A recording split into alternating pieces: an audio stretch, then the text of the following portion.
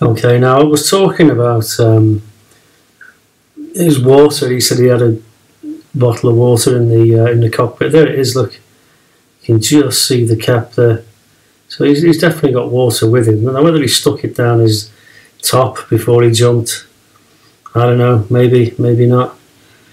But remember I was talking about the pitot tube on the outside, uh, the little black hose that disappears up into the wing. Well, that looks like the tube there. Look, you think you can see that? Because that was a vacuum-driven thing, and uh, it measures dynamic. No, it's not vacuum-driven, is it? It measures dynamic pressure against static pressure.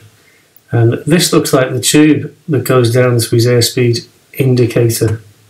See that? Now, I'm not an aeroplane mechanic, okay, but I would assume that that bit of rubber there would have to connect to that tube there in order to give him airspeed. Because um, the wings can come on and off these aeroplanes, and you have to be able to disconnect fuel pipes. I mean, you know, that could be a fuel pipe. Going to the, you see, a lot of aeroplanes have a tank in each wing. I know for a fact that Taylorcraft has got a tank in the front here, just behind the camera as we're looking at this angle. So it's definitely got a front tank. But uh, and this is this is a.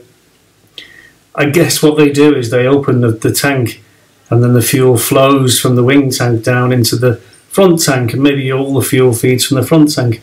So this here is either a disconnected fuel tank. And anyone who's ever flown a Taylorcraft will know this if it's true or not. This is either a fuel pipe which is disconnected, which proves there's no fuel in that wing, and there's only fuel in this wing, which would mean that when he jumped out, it would roll to the right, which it did. Didn't fly straight away from him because he'd never catch it, would he, on his parachute if it just kept going in a straight line. So it would be, you know, if the thing was staged, he would want uh, at least fill this tank with water and disconnect it so that the thing will orbit to the right and uh, descend. So it wouldn't go very far when, before it crashed. So hopefully he could catch up with it. And there's a, there's a very loose looking cable down here. This is probably a control cable. Some description going to the tail. I don't know exactly. But this, this pipe worries me. I don't know what that is. And if it's his airspeed indicator, um, then it's clearly not going to work, is it? Unless that black rubber is pushed over that tube. Now, I know there's a lot of aeroplane licensed engineers out there that know this better than me, so perhaps you could leave your comments down below.